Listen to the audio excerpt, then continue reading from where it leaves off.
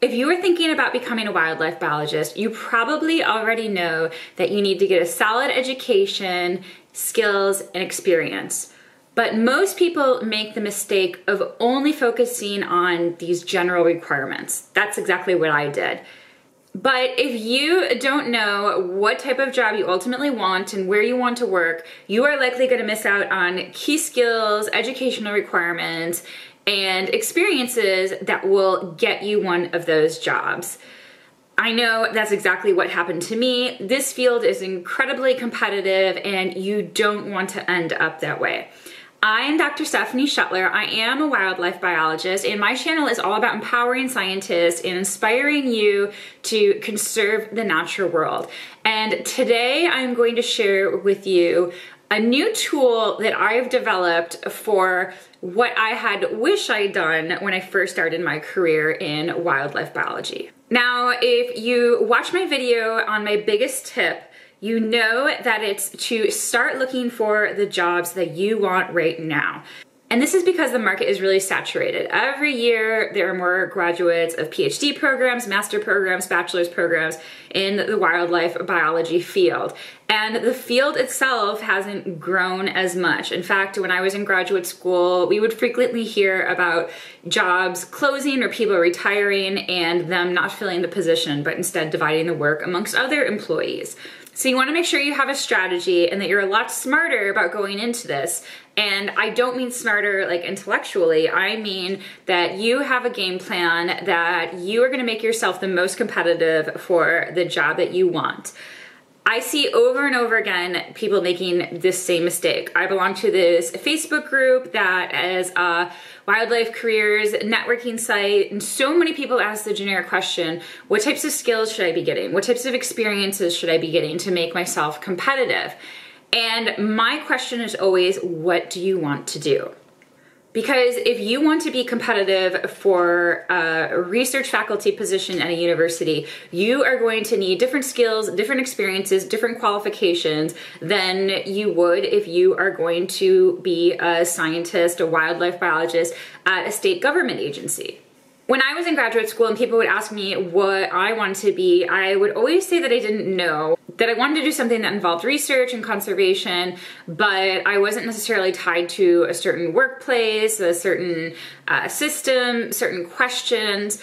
And I kind of went about it getting more general experience. And then when I got out, looking at the job boards and being like, wow, this is a really cool job. This is a really cool job. I should apply for this. And I applied to jobs research positions, outreach positions, faculty positions, although I actually didn't really want to go into academia, um, even an executive director position. And what I found is that while I was competitive for these positions and I could land an interview, when I finally got the interview, I did well, but there was always someone who was more perfectly suited for the position. They had just one more extra skill or just one next level of experience than me that made them more competitive for the position. So my advice to you now is to figure out as best as you can the career route that you ultimately want to take, the ideal job that you want, or ideal jobs so you can at least follow that trajectory and have a good sense of what you need to get in case you end up following that path. I was thinking about what would be most helpful for people in this situation. So I created this tool called the Job Tracker and I will put a link at the in the description of this YouTube video. But basically, it's a spreadsheet and it's a way to organize your jobs. And what I want you to do is to search the job boards, sign up for email alerts for job boards that have those. Those are awesome. And once a week, go through the jobs and copy and paste certain elements of the jobs into this job tracker.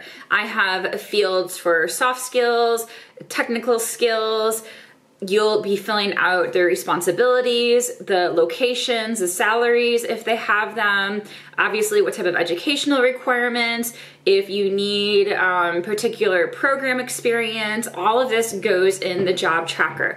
And if you do this now while you're young, you will be able to see patterns. And actually copying and pasting these different fields, the highlights from these different fields, will force you to slow down and really think about what you want in your career. A lot of people tell me that they want to go into this career because they love being outdoors, but really look at the position and are the activities that they describe being outdoors. If you are meeting with a lot of stakeholders or making a lot of reports, analyzing data, those are not outdoor activities.